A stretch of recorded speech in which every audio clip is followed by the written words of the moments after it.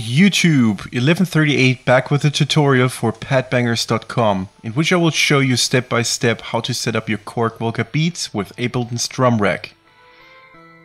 I will also show you a part 2 on how to set it up with M-Audio's Triggerfinger Pro for DAWless jamming. For reference you can also download the MIDI implementation chart from Korg under korg.com manuals for any Volcas, which looks like this. The difference from the Volca Beats to all other Volcas is uh, that it communicates through the same MIDI channel, which is channel 10. Volca Sample, for instance, communicates from channel 1 up to 10 for each sound, and all other Volcas use channel 1. But that's just a side fact. Um, start your Ableton Live and create an uh, instrument rack, which is drag and drop into the first MIDI channel. And just drag and drop and drum rack into it. Expand the view. Create a chain. Use that as a default. Uh, go back to instruments and use this one, external instruments, and drag and drop it to the chain. Uh, choose your MIDI interface or the port um, that is hooked up to your Volca Beats, which is in my case MIDI-Tech MIDI Face 2x2 port 2 and we use channel 10. This is now my default setup. We just copy and paste it nine more times. Control D on their Windows computers.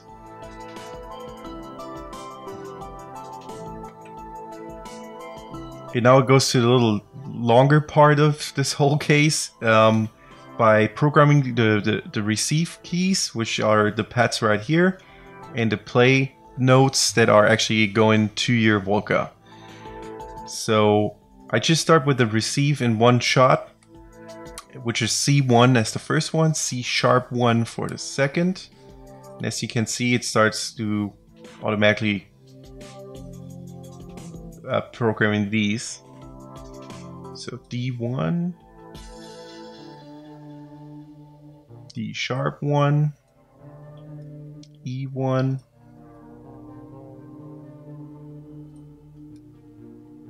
F1, F sharp 1,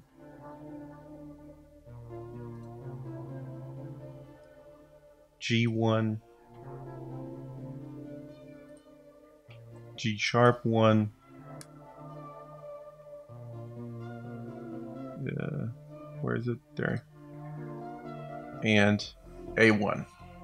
So now you got the 10 available um, sounds pretty much on your Volca or the pets assigned to them. So now we uh, have to choose the destination, which will be in this case C1. And unfortunately, you don't have a drop down list, so you have to kind of click through it.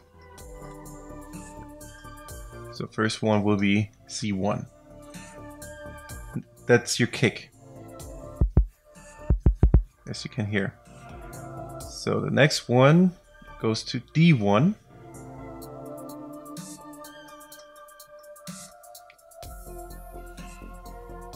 G1.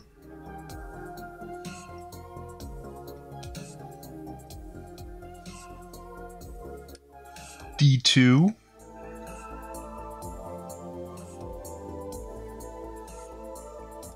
F sharp 1.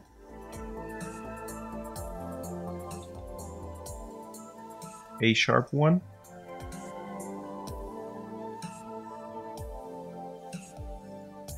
D sharp one.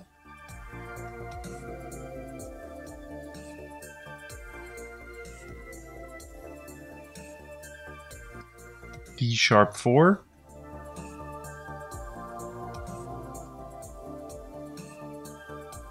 G3. Last but not least, C sharp 2. I hope I was mistaken. Let's test them.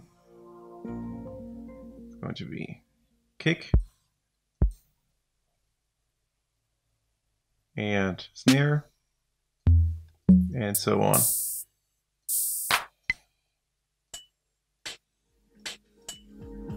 All right.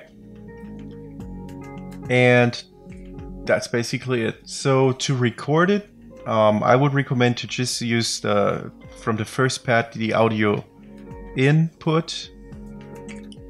Um, just because um, if you would do it for every single um, sound, um, you can't really mute them. They will still play through all the the open channels.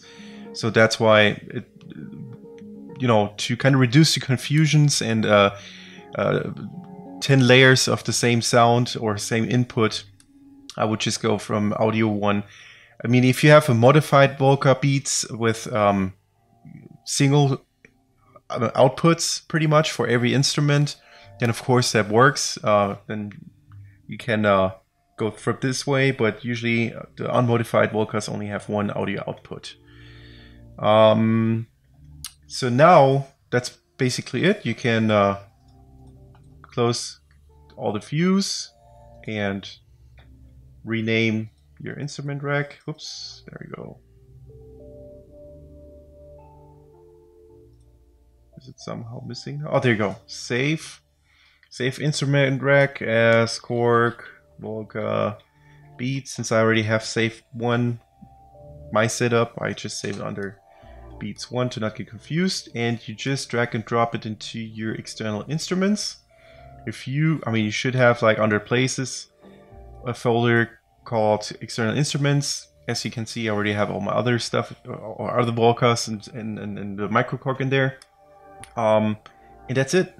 That's um, all you have to do.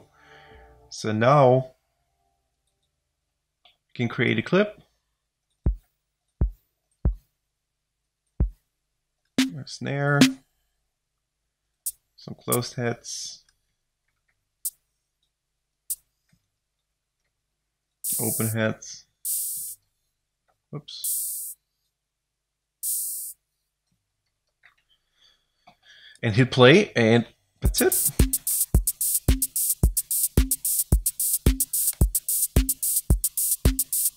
Now you can create your own beats in Ableton with more than just 16 steps, which is pretty limited to the Volcas, and give your tracks a lot more varieties. I hope this helps. Check out padbangers.com for more tutorials and reviews. Take care.